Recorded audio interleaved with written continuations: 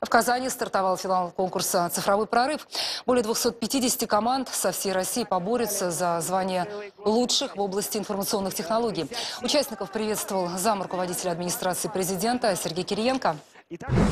Поскольку IT-сфера постоянно развивается, наверное, э, меняется динамичнее всего э, сегодня в мировой экономике, то крайне важно, чтобы само сообщество специалистов э, в этой сфере было полноправным участником обсуждения любых принимаемых решений, а самое главное, любых принимаемых государством нормативно-правовых актов, законов, программ.